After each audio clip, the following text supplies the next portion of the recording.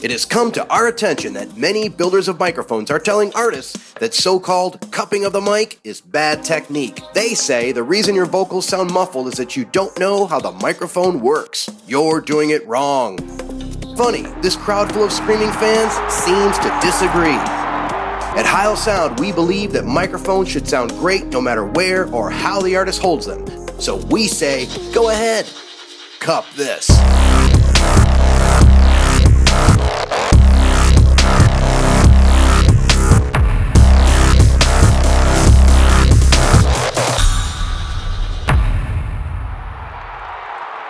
I was doing wrong.